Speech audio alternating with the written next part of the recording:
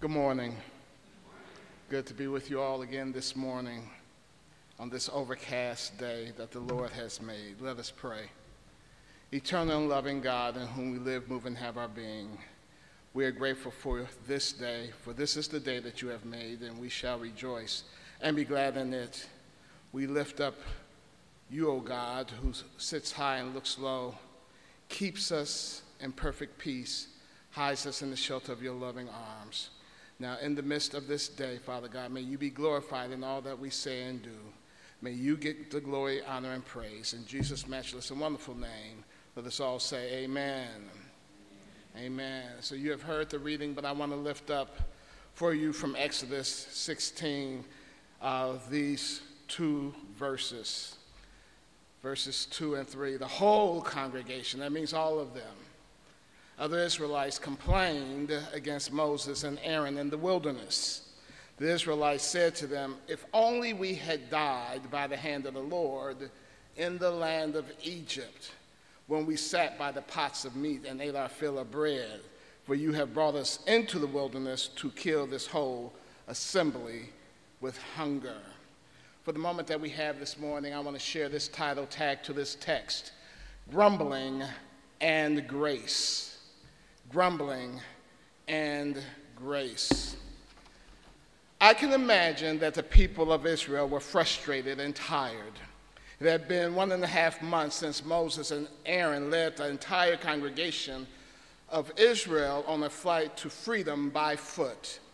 Even after nine demands and ten plagues, Pharaoh would not permit Israel to leave because he believed his little God was more powerful to, than their God of all creation. But after the last, let my people go, Moses, with the sovereignty of God's power, led Israel from a foreign and familiar land into the wilderness. The time had come. Israel had to get up, pack up, and move out. The living generation would now press forward on ancestral prayers, dreams, and hopes. The Lord heard them. The Lord saw them. The Lord remembered. So the journey began. God guided them by being a pillar of cloud by day and a pillar of fire by night. And after God protected them by closing the road to and through the Red Sea, they were able to settle and begin a new life of freedom. No more making bricks without straw, no more mud pits and lashes, no more sun up and sun down break back breaking work days. No more being afraid of Pharaoh's army, Israel was no longer in bondage. 430 years is a long time in one place that is not your own but has become your home. Would they remember what life looked like before captivity? How well might they have told their story from one generation to the next? Even the bones of Joseph could not rattle loud enough to reminisce about their journey. But they were free, celebrating and rejoicing and remembering until their provisions began to run low in the wilderness and they began to face food insecurity. The memory of 430 years cannot compare to what was just six weeks prior. For them, long term pain made for short term gain.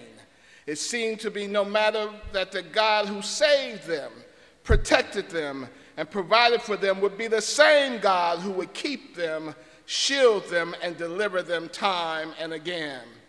There was another transition in their long history of transitions wandering in the wilderness, a return to Egypt, the death of Joseph, their enslavement, their protection in Goshen during the plagues, and now their freedom. In the wilderness, what ought to be was not what was. So I can imagine they were frustrated and tired. And like many of us, when we get frustrated and tired, we have a tendency to complain. Complaining can come easily.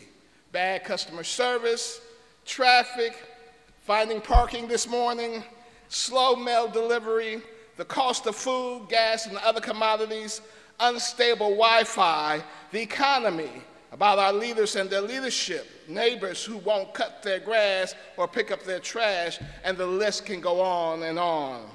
In the case of Israel, their complaints tell the real story of what was going on in their lives. Their complaints were not about individual issues, but the collective dissatisfaction with their situation. They were intricately connected by a system of oppression that signified that they were experiencing a shared struggle. They were captured and enslaved. They endured harsh and horrific labor conditions. They were economically disenfranchised. They were physically and emotionally oppressed. They were marginalized. They posed a perceived threat to the security of the privileged because they crossed borders into sanctuary cities. Again, it is not hard to believe that the people of Israel were frustrated and tired. However, their excessive complaining made them self absorbed the Bible says the whole congregation of Israelites complained against Moses and Aaron in the wilderness. It wasn't a few of them or half of them, it was the entire congregation, the entire assembly who had been delivered from bondage but was now complaining. The once quiet wilderness now echoed with discontent and grumbling. The attempt to be quiet the, attempt to quiet their complaints might have been the impulse for Moses and Aaron, but sometimes you can't compete against memory. Sometimes you won't win against what people remember as their safe place despite their difficulty and hardship. It is important to remember that in Egypt, Pharaoh had given Israelite Goshen because of Joseph. Goshen was a comfort zone for them. Joseph had been chose, Joseph had chosen Goshen because it was separated from Egypt and was a land where they could practice their rituals and beliefs from the pagan practices of the Egyptians. And they were good memories and a place they once called home. But in verse 3, we hear their longing for a familiar place as well as their complaint when they said to Moses and Aaron, if only we had died by the hand of the Lord in the land of Egypt, when we sat by the pots of meat and ate our fill of bread. For you have brought us into this wilderness to kill this whole assembly with hunger. Yeah, Goshen was home. Home is where the heart is, right? But now, free from bondage, they find themselves in the wilderness where they first couldn't drink the water and now they beg for food. For them, Goshen was not a desert place, but a deserted home. They now had to find themselves further from the promised land. Their oasis was now a wilderness called the land of sin, no pun intended, which was now a long way from anywhere. Now let us understand what is happening here in this text. 45 days after departing from Goshen, 45 days after leaving their comfort place to a desert place, and 45 days later, the whole congregation of Israel never cried out to God. They never asked God for water. They never asked God for food. They didn't remember that God delivered them from the hands of Pharaoh. They didn't go to Moses or Aaron for prayer. They didn't go to God. They neither uttered a confession of faith nor thank God for God's promises. Instead, they grumbled. They rejected Moses and Aaron and turned their back on God, who had done some miraculous things in their lives. They were experiencing another transition but could not see how their freedom was in God's hand. What more could Moses and Aaron do but doing what God called them to do? Perhaps Moses and Aaron were frustrated and tired. And in the words of Reverend James Forbes, he says, if you want to know how to lead a people with PTSD, just ask Moses. God had been gracious to Israel. Where was their faith? This is not to be critical, but to pose the question for us. We must walk in another person's shoes to grasp their point of view.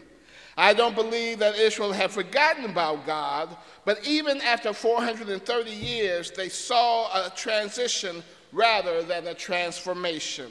Their transition left them skeptical about resources. And I see it all the time at our food pantry where I serve, and the way our neighbors arrive to the food pantry two hours in advance just to ensure that they don't miss out what we have to give out. They line up before the doors open, and they will endure the heat or frigid temperatures to get to the first fruits of what we have to give. There's a real sense that when resources are not available, we will lose out. Transitions can bring a sense of uncertainty and anxiety. The fear of the unknown and the possibility of change can trigger our own anxiety, especially when you don't know how to navigate the new situation you are in and depending on someone else to get you through the, the way. Transitions, as you know, also bring loss and grief. They become, the familiar becomes unfamiliar. Starting anew is sometimes difficult when you have to let go of the past. Transitions prompt self reflection. It can force you to ask yourself the question Who am I? What is my purpose? Can I adapt in the wilderness of uncertainty on the way to God's promised land? Transitions can also, though, make you resilient. There are times when you don't know how strong you are or the courage you possess without going through a transition. The power of this is to be able to say, you were able to get through it because God brought you to it. So here we are. Rather than seeing this transition as an opportunity for transformation, Israel grumbled. The whole congregation complained against Moses and Aaron. Moses and Aaron were rejected as leaders. Their complaints were loud and clear. Their anxiety was high. They began to grieve the loss of the past, even though the past was not pleasant. The unfamiliar and the unknown made them fearful. They began to implode. Rather than pivot toward God's promise, they began to have flashbacks. They were triggered. They considered dying by the hand of the Lord to be more advantageous than dying from hunger in the wilderness. But God showed up. The grumbling had become enough. The chronic complaining had reached a peak. But before Moses and Aaron could respond, God stepped in. God intervened. God extended grace because, with, because and it was without rebuke. And that's important to know in our lives that when we're complaining, God will give us grace, but will not rebuke us because of our complaints. God acknowledged their complaint and gave instructions to Moses and Aaron to give to the congregation that simply comes down to this God provides. And when we are reminded of God's provision, we are also reminded of what Moses said to Israel Your complaining is not against us your complaining is against the Lord. And so this brings us to three simple points raised about our grumbling and the beauty of God's grace. First point is God hears. God hears. God hears you. It matters not who you complain to, God hears you. There is nothing you can say in secret that God does not know. There's nothing in your thought that God does not hear. God hears us even when we fail to go to God in prayer. Yet too often we walk to and talk to any and everybody but God. But there's an old, old hymn that we don't sing much anymore that I learned as a child that goes something like this Now have a little talk with Jesus, tell him all about your troubles. He will hear your faintest cry and he will answer by and by. Hear a little prayer wheel turning and know a little fire is burning. Just have a little talk with Jesus will make it right. God hears your heartache. God hears your pain. God knows your struggle. Instead of going to everyone else about your situation, go to God. First, talk to God. God can handle what you are going through. Nothing is too hard for God's ears. Nothing is too hard for God's ears. And then, secondly, not only does God hear, but God sees. The problem Israel had in the wilderness is that they believed they had been abandoned by God. Remember, they said to Moses and Aaron, You have brought us out here to the wilderness. Remember when, Aaron, when Moses had to go into the mountain to get the tablets of stone, they had not heard from God. They thought God had abandoned them. But God could see everything that was happening in their lives. And sometimes it might be difficult to trust God when you can't trace God. But God sees what you're going through. We serve a God that will never leave us nor forsake us. We serve a God that sits high and looks low. We serve a God that sees and knows our pain, a God that hears our thoughts and our cries. God sees you, so you won't have to, so when the words won't come, know that God sees you. When your arms are stretched to the Lord, know that God sees you. When you are sitting and swaying from side to side because trouble has come your way, know that God sees you. When we're in worship and we lift up our hands and clap our hands and sing our songs, know that God sees you. When trouble comes your way, know that God sees you. When you have your hands clasped in prayer, God sees you. And when your eyes begin to water and the tears begin to stream, God sees you. God will fight your battles because God sees you and God hears you. And then finally, because God hears and God sees, God gives us grace.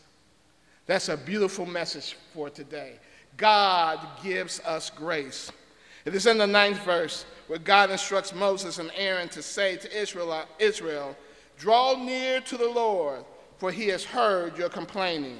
And as Aaron spoke to the whole congregation of the Israelites, they looked toward the wilderness, and the glory of the Lord appeared in the cloud. Sometimes that's what we have to do, church. Sometimes in our darkest nights, our midnight hours, sometimes when we don't know where to turn or where to go or who to talk to, sometimes all we have to do is look up. Lift up our eyes to the hills from whence comes our help, because our help comes from the Lord. We look up, and God appears to us. God sends God's Spirit to us. Grace is given to the Israelites despite their behavior and sinful nature. God blesses them with food, and the glory of God is revealed to them. This is grace. Grace they didn't deserve, but grace that was, that was granted. God desires a relationship with us and stands by his words that says, I will never leave you nor forsake you. It is with this promise that we receive God's grace. This is the good news Good news because when we can't find our way and don't know where to go, God sends grace.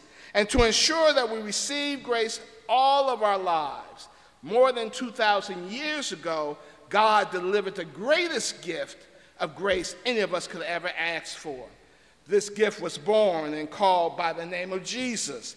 He was not sent into the world to condemn the world, but that the world might, that the world through him might be saved. What a gift of grace is to us. This is the gift that saves us, redeems us, and says that your sins are forgiven. A gift that lets us cast all of our cares upon Him. So grumble and complain all you want, but take it to the Lord in prayer. When you are too weak, take it to the Lord in prayer. When your burdens are heavy, take it to our Lord in prayer. When you are hurting and in pain and people don't seem to understand you, take it to the Lord in prayer. When you are frustrated and tired, take it to the Lord in prayer because we serve a mighty God who has given us by his grace Jesus Christ, our Lord and Savior. And I close with the hymn that most of you have probably sung in your hearts. What a friend we have in Jesus, all our sins and griefs to bear. What a privilege it is to carry everything to God in prayer. Have we trials and temptations? Is there trouble anywhere? Our precious Savior, He is still our refuge. take it to the Lord in prayer. Oh, what peace we often forfeit. Oh, what needless pains we bear.